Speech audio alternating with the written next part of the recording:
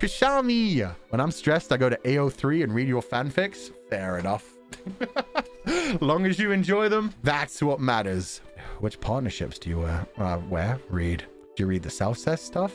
Do you read the like loving stuff? Do you read the violent stuff? Wh- Which pairings? What, what are you hitting up? Let me know. This is the one time I'm going to let you talk about that in chat. You've got five minutes, chat. Go ahead. Which of the which of the pairings you read? Hurt no comfort is the way to go. There we go. The angsty ones? Oh, hell yeah. Cyborg, Cyborg, Fulgatus, and Allfu. I dare not say. angst. I'm glad there's a lot of angst. Oh, angst. I read self-cess at the same time and my mind combined them. Angst cest should be a thing though. R slash lay. Uh, no comfort. Also platonic stuff. Aw. Platonic stuff is good. Sugar and Full Drop. Ah. Full Drop's a pretty new one. I don't think it has too much art. But the art I've seen from Full Drops has been pretty nice. The sugar stuff is always nice. The sugar stuff is normally like very vanilla and very like comforting. Whereas much most of like the other pairings are just like, damn, shit gets serious.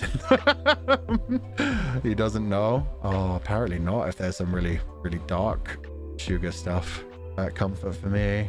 Full drop fan arts are crazy. Full drop fan arts go hard. I don't know why, but yeah, the ones that I have seen, there's not a ton of them, but the ones that I have seen are like powerful.